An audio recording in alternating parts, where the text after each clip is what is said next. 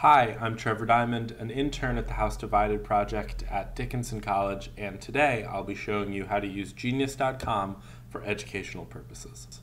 So here we are on Genius homepage. Genius was founded in 2009 as rapgenius.com, a place where fans could upload the lyrics to their favorite rap songs and then annotate them to explain what those lyrics meant.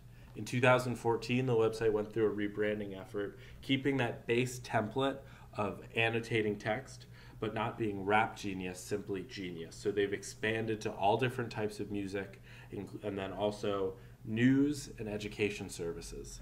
So you can see on the front page, music is still the main source of traffic on the site. They've also begun publishing articles about different artists and songs and becoming one of the major sources of music news in the United States. They also have News Genius, which we'll see a little bit later, and we'll see the education service they've recently launched. But the first thing we're going to do is add a song, the most simple thing you can do on the site. So we have our free House Divided account. It's quick and easy to create an account, and it's just as quick and easy to add a song. We're going to be using this 1851 letter that Abraham Lincoln wrote to John Johnston off of our Lincoln's Writings House Divided site. So the author is Abraham Make sure that your spelling is correct. Abraham Lincoln, and it is a letter to John Johnston. The primary tag shows the breadth of options that Genius offers you. We're going to use history, but as you can see, there's news and tech and literature and sports, along with different types of music genres as well. So the lyrics, we're going to scroll down to the bottom of the page, and we're just going to copy and paste the text paste it in this box. And then you can move down to additional metadata. You can put in featuring artists or produced by or written by. It's not really necessary here, but if you're posting transcripts from websites, that's where you would put it.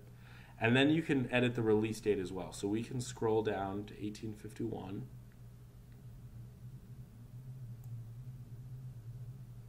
Right there. And then we can January 12th. And then we're going to include the SoundCloud URL. So you can also include YouTube videos that will come up once the site is published. We have a SoundCloud recording of the letter. You can hit submit. So this is our unannotated letter to John Johnston transcript. You can see here's the SoundCloud so you can listen to it while you read, but we're going to start by annotating. So you can just highlight a section and then hit Start Genius Annotation. And then we're just going to put sample annotation. And that's our first one. So you see it's in a sidebar, you can click away and then click back and there it is. And you can edit it and then you we could put additional content and then write added content just to describe the edit hit save. And what's really great is that you can see if it's done by multiple contributors, you can click on how many, and then you can view all the edits that have been made. And if you want to have your page go back to, say, the first one, you can hit revert, and it will change the annotation back. You can also add images and videos, so we'll just take this section, start the Genius annotation, and we're going to add an image. So we're going to take this image of Thomas Lincoln, copy the image address, paste it here, hit select. And it will load all up, and we can then write Lincoln's father Thomas. Hit save. And there's our annotation again. So it's, as you can see, it's really easy and really fast to start annotating a document. These are just sample annotations.